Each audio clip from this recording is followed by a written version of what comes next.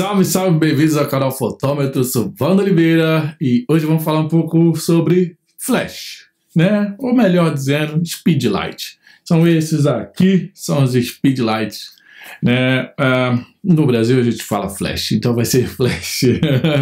Vou explicar um pouco sobre como utilizar, né? Quais são as maneiras que você pode configurar ele para o modo manual também tem modo TTL, que é o modo automático, mas eu vou explicar mais sobre o modo manual, porque tem muita gente que não sabe como funciona isso aqui. Então vamos dar as explicações hoje. Fica aí, daqui a pouco eu venho. Valeu! Bom, primeiramente falar para que serve um flash, né, um speedlight para quem está começando na fotografia. O flash serve para trazer mais iluminação para o objeto, né? Claro, né? Dar aquele brilho de luz para o seu objeto, e principalmente se você tem uma lente escura ou se está em algum ambiente que é muito escuro. Mas também pode ser usado de maneiras artísticas, né, para criar certos tipos de foto. Eu vou botar algumas fotos aí que eu fiz usando alguns desses flashes. E você pode usar de maneira mais artística também para levar uma iluminação para um lado e deixar o outro lado mais escuro. Quer dizer, dá para criar muita coisa utilizando o flash. Tem muito a ser estudado com isso. Bom, ele é medido, tá? Pela quantidade, o tempo que a luz dele fica brilhando, né? Os flashes funcionam assim. Então ele tem uma, uma marcaçãozinha aqui, onde eu posso regular se ele vai para o mínimo ou se eu vou botar o flash no máximo. O flash no máximo significa que é 1 barra 1. Tá? Então, é o máximo de potência de luz, né, o tempo de luz que ela fica exposto, né, que espalha, dá aquele brilhão de luz enorme.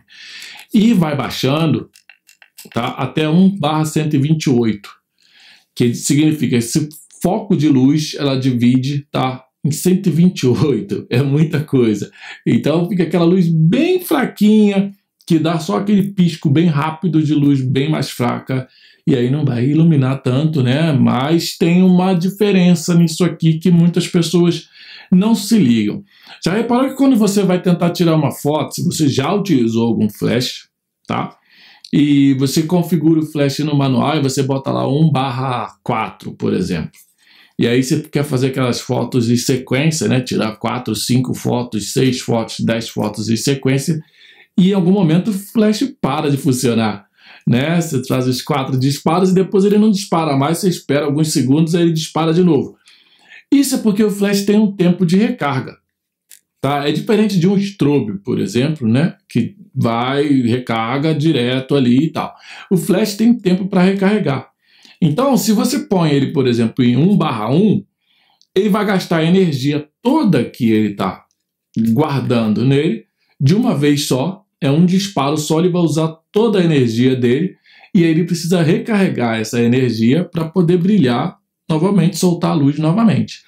Então, quando você vai dividindo isso, 1 barra 4, 1 barra 8, né, 1 barra 16, significa que ele está dividindo essa energia que ele acumulou aqui para poder disparar o flash, ele vai dividir ela em 16 vezes, ou em 8 vezes, ou em 4 vezes. Um exemplo, 1 barra 8. Dividiu a energia de recarga em 8 vezes. A luz vai sair mais fraca, mas está dividida em 8 vezes. Significa que você pode fazer 8 cliques de fotos com flash disparando seguido sem ele precisar recarregar. Tem gente que prefere tirar foto em 1 barra 32, 1 barra 60, 64, e aí vai acontecer dessa mesma maneira sucessivamente. Há também a questão da sincronização, né? É, o flash ele sincroniza com a câmera, dependendo da câmera, tá? vai de 1 barra 160, isso eu estou dizendo a velocidade do obturador da câmera, tá? 1 barra 160, tem, tem câmeras que configuram até, que sincronizam em até 1 barra 250. Não são todas, tem que ler o manual, tem que ver se tu, qual é a velocidade de sincronização da tua câmera com o flash.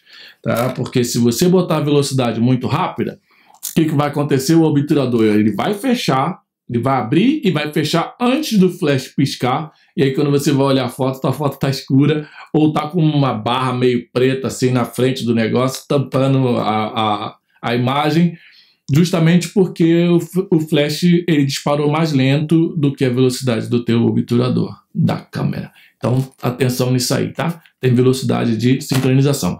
Existem flashes que são chamados de HSS, né? High Speed Sync. são flashes que sincronizam até velocidade 1 barra 8000, tem outros até 1 barra 4000. É, mas não é o caso dos flashes mais em conta, tá? Dos speedlights mais, mais baratinhos, eles não têm isso. São os mais caros que tem, né? Você vai olhar lá na configuração dele, vai estar escrito lá HSS. Significa que esse flash pode ser sincronizado na câmera na velocidade máxima da câmera. Aí vai. Esse dá para fazer, fazer umas loucuras lá. Bom, aqui dá para a gente ver que ele tem essa marcação. Não sei se na tela vai aparecer para vocês. Esse tem uma tela digital, aquele outro não. Né? Esse flash aqui é um Newa, tá? É uma marca bem similar à marca Godox, é chinês. Bom, ele tem aqui, tá? Deixa eu acender a telinha. Ou talvez apagada vai ser melhor para poder enxergar. Acho que apagada é melhor. Bom, eu vou clicando aqui, tá 1 barra 2, tá? Vai para 1 barra 4, 1 barra 8, 1 barra 16, né? 1 barra 32, 1 barra 64 e 1 barra 128. Tá? São oito mudanças de força né, que a, tem para dividir a luz, como eu já expliquei antes. Nesse caso aqui, tá, eu estou apertando aqui para poder mudar somente a configuração da potência da luz né, do flash. Mas, logo abaixo, tem alguns flashes que tem como controlar a milimetragem que o flash tem. Isso significa que essa luz que está aqui dentro, ela vai vir mais para dentro ou mais para fora. Tá? E essa milimetragem ela aparece aqui embaixo, no caso desse flash aqui. Agora está em 35 milímetros. Se eu clicar no mais e começar a mudar aqui, eu posso abrir mais, botar para 18 milímetros, o flash vai ficar com a luz bem espalhada, ou eu posso vir fechando, tá? A ponto do flash chegar a, um, a 130 milímetros ou tal, entendeu? Eu posso, eu posso alterar isso aqui. Bom, isso é nesse caso. Significa que essa luz aqui ela vai descendo e ela vai subindo. E alguns flashes têm isso aqui. Tá? Que muita gente pensa que isso é para fazer rebater, não sei aonde e tal, esse monte de coisa. O que acontece? Isso ajuda a espalhar um pouco mais a luz, tá? Esse aqui. E esse também pode ser usado assim, como forma de rebater. Se você bota o flash para cima e estiver aberto, a luz dá um estalo né, e vai rebater um pouco aqui direto para o objeto se estiver na, na tua frente. Alguns flashes têm a, a, cabeça que move. No caso desse aqui, tá? ela se move eu posso também fechar, voltar. Isso significa que é bom para poder posicionar o flash para lateral ou né, botar no alvo, tirar, alguma coisa assim. E tem esse infrarote aqui, que é o, infra, o infravermelho dele, que quando o flash está em modo escravo, a câmera um outro, ou um outro flash pode disparar e ele vai captar a luz por aqui, aí ele dispara também, tá? Tem um, os modos dele aqui. Deixa eu botar aqui novamente. Se eu apertar aqui nos modos, agora ele está no modo manual. Se eu vou apertando, tá? Vai ver que vai aparecer manual, multi, tá? O multi é para sincronização, Dá para fazer um monte de disparos e configurar a, a, os hertz que ele vai funcionar. Tá? E tem o modo S1, que é o modo escravo. Significa que ele vai, ele vai disparar sendo escravo de um outro flash, ou talvez até do flash pop-up da câmera, se você quiser usar o pop-up da câmera dessa maneira. É, e tem o S2, que aí ele já dispara também como escravo, mas tem, é numa outra configuração e tal, e para quem está começando não é, não é muito, muito negócio da deixa no modo S1 se precisar. E tem o modo, esse aqui tem o modo ETTL. ETTL significa que é o modo manual do Flash. É, manual, desculpa, que é o modo automático do flash. Então, o flash ele se configura com a câmera e o que a câmera estiver precisando de luz, de acordo com a fotometria da câmera, o flash vai reconhecer e ele vai disparar a luz de acordo com o que a câmera passa para ele de informação de fotometria. Então, se na fotometria da câmera está dando menos 1, ele vai compensar essa falta de luz, porque ele está ligado em modo ETTL.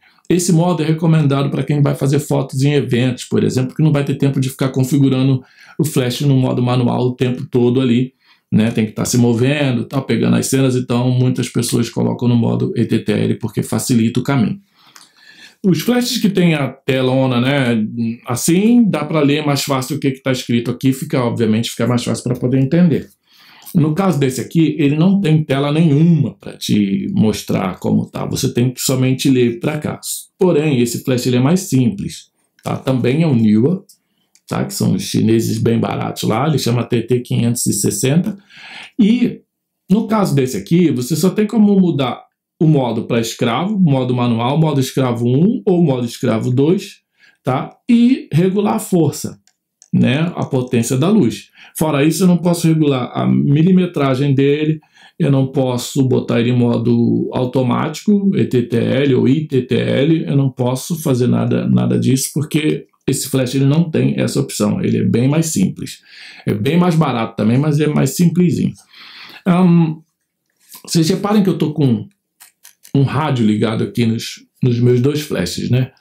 O caso do rádio, eu uso esses rádios porque eu posso sincronizar os dois flashes com uma câmera só. E aí, via rádio, eu consigo fazer o disparo, tá? Via esse rádio aqui, eu consigo fazer o disparo dos dois flashes. Se eu clicar agora, eu já estou fazendo, eu já estou disparando flash, né? Então, e eu estou disparando os dois, porque os dois estão sincronizados com esse rádio aqui, tá? Que também é da mesma marca. E eu consigo fazer o disparo com esse rádio, esse rádiozinho aqui. No caso, bom, então, eu tô com a, agora eu tô com rádio já aqui na Nikon D3300, né, para não usar nenhuma das câmeras é, as mirrorless, vou usar a DSLR, porque é a mais normal que todo mundo tem. Então, o rádio está aqui preso na sapata, né? Modo simples, prende na sapata da câmera, no mesmo lugar onde prenderia o flash. O rádio tem uma medida aqui atrás que ele vem escrito, né? Só botar em modo flash e eu, o que está ligado no flash aqui também está na mesma direção, botar para modo flash aqui, tá? Ele vai piscar uma luzinha verde que vai mostrar que ele vai sincronizar, tá? E estando sincronizado tem como apertar aqui em cima para ver se ele vai se ele vai piscar, tá? Estando sincronizado, ele tem que piscar, já está dando luzinha lá. Então tá certo, tá configurado. Eu vou voltar ele para modo manual, tá? E vou deixar um barra 16 para não ficar muito forte. E eu disparando a câmera, ok? Funciona assim. Tá? Então, basicamente é isso. Tá? O flash vai sincronizado aqui na câmera. Existem é, vários equipamentos que dá para utilizar com flash. Normalmente alguns flashes já vêm com esse aqui que é um difusor, tá? E aí a gente prende ele aqui em cima e ele ajuda a deixar a luz mais difusa, não deixar aquela luz muito dura, tal, chegando, rachando na pessoa, então a luz fica um pouco mais difusa. É, é legal de vez em quando usar isso aqui quando não estiver usando uma softbox, não está né, usando alguma coisa que vai estar tá difundindo a luz. Então, isso aqui ajuda bastante também. Eu costumo utilizar também Repare que nesse flash aqui eu tenho um, um velcro aqui colado nele. Né? Eu adaptei isso, né? porque com esse velcro eu consigo fazer algumas adaptações para usar o flash de maneira mais criativa. Né? Então, por exemplo, eu tenho isso aqui que é um grid, é um grid de flash. Olha a viagem, né? E aí eu posso prender esse grid aqui fazendo com que a luz do flash não fique muito espalhada, né? Então eu consigo deixar essa luz do flash um pouco mais retinha, sendo mais direcional, tá? Por causa do grid, tá? Esse grid ele tem essa função, tá? De deixar as luzes, né, um pouco mais diretas ao ponto. Um outro apetrecho meu, tem um outro apetrecho aqui também, que no caso é isso aqui. Muitas pessoas colocam papel celofane né, no flash, enrolam papel celofane aqui na ponta dele para que você possa mudar a cor da luz. Eu consegui achar aqui esse, esse tipo de material, tá?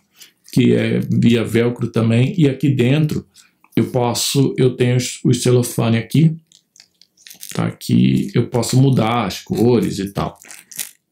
Aqui tá os celofanes, Tá? E eu posso alterar as cores, é, posso botar várias, eu tenho de várias cores, isso aí eu cortei e né, coloquei, coloco aqui dentro, e aí eu grudo isso no flash aqui, dessa maneira, E agora eu tô com a luz do flash né, mais laranja, mais alaranjada. Se eu disparo ele, é, vou disparar uma luz de teste aqui, ó. A luz está mais alaranjada, ok? É, e aí eu posso botar a luz azul, posso botar vermelho, posso botar roxo, sei lá, a cor que bem entender, né? Eu vou testar agora aqui para vocês entenderem o modo escravo, tá? O que, que eu vou fazer? Eu vou fazer com que esse flash daqui dispare esse flash. Eu mudei o modo desse flash para S1. Repare que a luzinha que vai estar acesa aqui é a S1, né? E esse aqui está em modo manual. Então, o disparo desse flash vai disparar esse aqui, tá? Sem usar a câmera. Não estou usando a câmera agora para nada, tá? Eu vou somente apertar a luz para que dispare aqui e esse aqui vai fazer o outro disparar. Vou até girar um pouco para lá. Reparou? Assim que funciona o modo escravo, tá? Um flash dispara o outro, tá? E vai mantendo uma sequência, claro, né? Dependendo de como você configurar, um vai fazer o disparo do outro. Então, ah, tá faltando falar sobre um detalhe que é muito, muito, muito importante. A velocidade do obturador não influencia diretamente na luz do flash, tá? O que faz influência na claridade na luz do flash, além, tá, da distância que o flash vai estar do objeto, tá? E se está usando softbox ou não, né, difusor ou não e tal, é também a configuração da abertura da lente, tá? E a configuração do ISO. Tá? Então, muita atenção com isso. Tá? Se você tem uma lente muito escura, é, muitas das pessoas usam lente do kit, né? Eu também uso bastante lente do kit meu aqui. E o que acontece é que você a lente ela é mais escura, então ela precisa ter um reforço de luz para ter uma qualidade melhor. E aí que entra o flash na brincadeira. Porém, se você pensar em configurar tá usando o triângulo lá de exposição e tal, e pensar em configurar o flash através da velocidade do obturador, não vai dar muito certo. Você tem uma velocidade que você precisa colocar para ter uma sincronização e também, se você vai estar com a câmera na tua mão, a gente já falou sobre isso, que o ideal é que né, fique acima de 1 barra 100 para que a, a, imagem não fique vibrando muito, tá? Tudo bem, pode botar lá 1 barra 160, tá? E isso não vai mudar aqui não. O que vai alterar, tá, a iluminação do flash no objeto, tá, é se você botar o ISO muito alto, obviamente que vai o sensor da câmera vai captar mais luz e aí pode estourar. Então, ideal para quem vai usar flash é deixar o ISO em 100. Se precisar, bota lá em 400, em 200, tal, mas o normal é deixar o ISO em 100.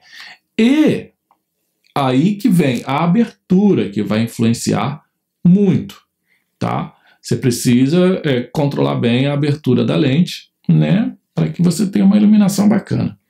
E aí é onde entra o lado também criativo. Para quem quer tirar fotos em low key, por exemplo, pode usar algum outro tipo de abertura da lente para poder fazer esse low key, mas isso aí eu vou deixar para falar em outro vídeo, porque tem muita coisa para explicar sobre isso.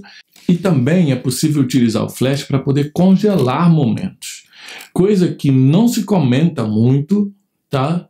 É, mas o flash pode ser usado para poder congelar uma cena ou algo que está se movendo. Vou dar um exemplo, tá?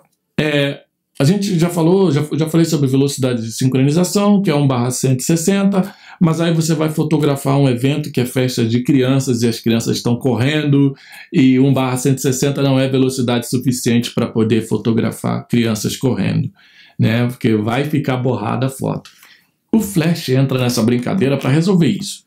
O poder da, do Flash tá, é tão louco, tão grande, que ele consegue congelar a cena. Quando estoura a luz, o flash de luz, tá, em algum objeto em movimento, ele congela a cena. Então, se você vai fotografar evento, né, vamos citar, eu vou tirar aqui o rádio, rapidinho, e vamos botar o flash na câmera. Bom, estou com o flash agora direto, direto na câmera.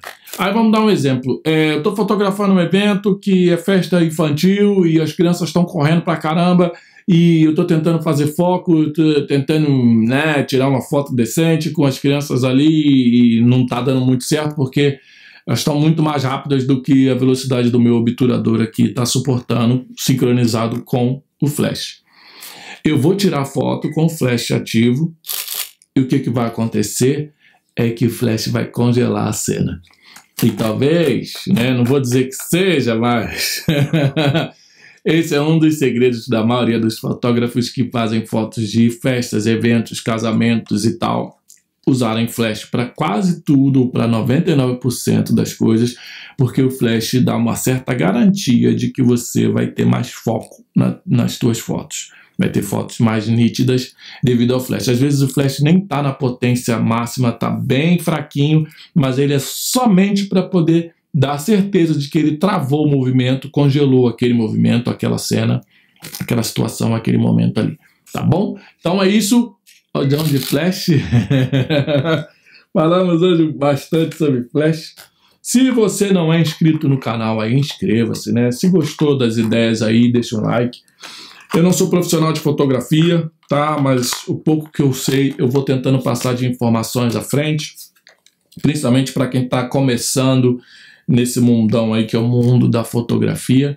E eu espero que o vídeo possa ajudar também a todos aí, a quem está precisando desse tipo de informação, tá? E não vou recomendar nenhuma marca de flash não, porque eu não ganho nada de marca nenhuma para poder fazer propaganda e o canal também ainda é pequeno. Então inscreva-se aí no canal para poder ajudar, né, para dar uma força. E a gente se vê no próximo vídeo. Eu, vou, eu ainda, vou, ainda vou fazer muitos vídeos falando sobre, sobre Flash e maneiras de utilizar o Flash de formas mais criativas para ver se vocês ganham uma inspiração para tirar umas fotos legais aí também. Valeu, abraço, tchau, tchau.